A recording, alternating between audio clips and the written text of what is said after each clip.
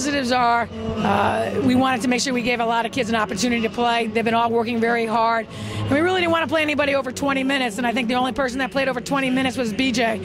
And BJ hasn't got too many minutes in this year. So we're really happy about that. It really wasn't about our opponent today. It was more about us, about us doing the little things. And we did some good things out there today. And uh, we'll have a nice break and then come back and play a really good Providence team in Temple on the road. I mean, I think a lot of kids played well. I think Jasmine came in and played well early on for us. I think Cinda gave us a double double. I think it was a total team effort today. I think everybody played hard and played well.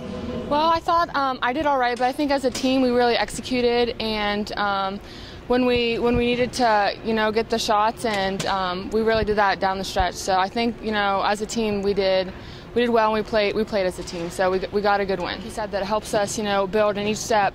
We just got to take it one game at a time and and know that you know going into Christmas break we still we got to work on an individual game and and be ready when we come back because we have uh, two big games ahead of us and just take you know each game at a time.